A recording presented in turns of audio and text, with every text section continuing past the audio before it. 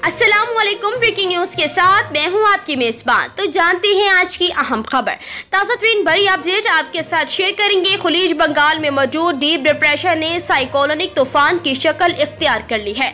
मसी report जानने के लिए हमारे चैनल को सब्सक्राइब कीजिए। बेल आइकन को प्रेस ताकि आने वाली हर वीडियो का नोटिफिकेशन आप तक इजीली पहुँच सके। तफसीलात के मुताबिक बताया गया है, खलीज बंगाल में मौजूद हवा का कम दबाव, शिद्दत इख्तियार करके समुद्री तूफ़ान में तब्दील होना शुरू हो गया है।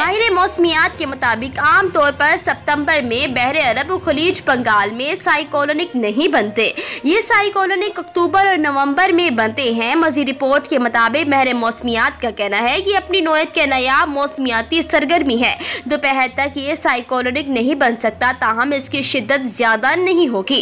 इनका कहना है कि साइकोलोनिक के बाद वस्ती भारत और गुजरात के बाद जनूबी पाकिस्तान और कराची में बारिशों का इम्कान है। यानी कि कराची में आज हल्की फुल्की की बारिश होने का इम्कान ज़ाहिर किया है।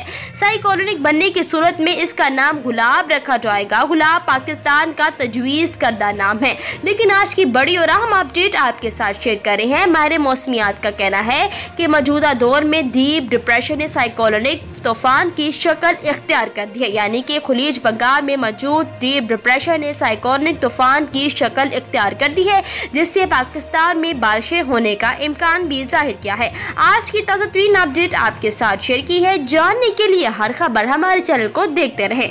अगर वीडियो अच्छी लगती है तो कॉमेंट सेक्शन का सहारा लेकर अपनी कीमती राय का ज़रूर इजहार कीजिएगा। वीडियो को लाइक और शेयर करना मत भूलिएगा। अपना अपने प्यारों का बहुत ज़्यादा ख्याल कीजिए। हमें इस वीडियो से इजाज़त दी दीजिए अल्लाह हाफिज़।